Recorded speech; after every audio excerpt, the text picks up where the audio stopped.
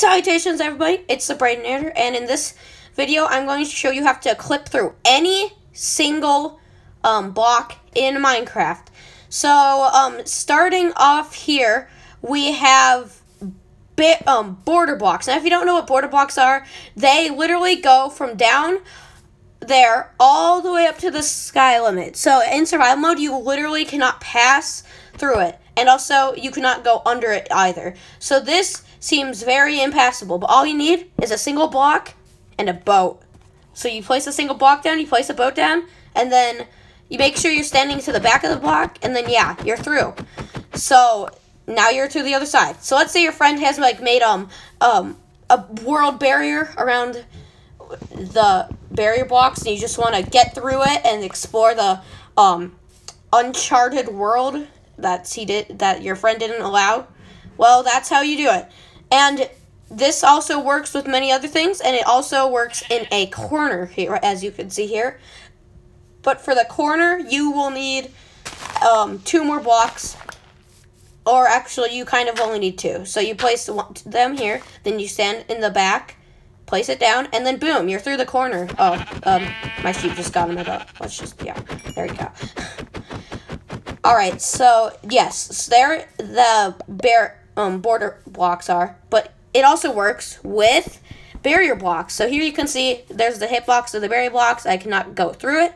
So what you need to do is you need to do the same thing and place the boat down. Oh, wait, it didn't fully place down. Sometimes it can be finicky, but let's just do that again. And then place the boat down. And, oh, wait, it goes through the floor.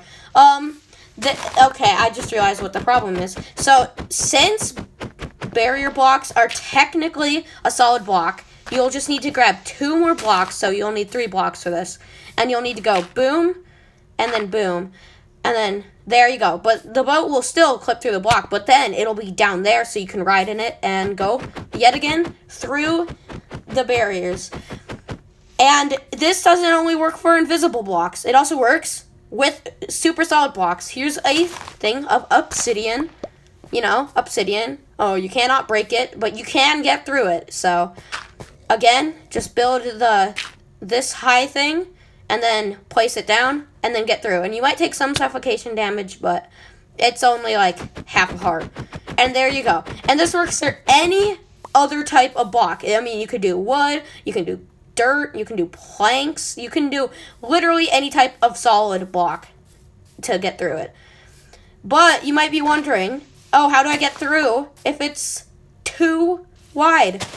Now, there is a way to do it, but it does require somebody on the other side of the wall, which is um won't happen often, and I believe it only works with um border blocks. But if you place a boat down and go through it, you actually don't need to do this with the border blocks, I forgot. So let's just break break it and make it fall. And then line it up so like a corner is against there. So there you go. And now we go to the other side over here and do the same thing since we want them to be perfectly on the same level. So you don't need to um, build this like L structure, I guess you could say. But I did it, so I need to do it again. So let's just break these blocks. And here we go through.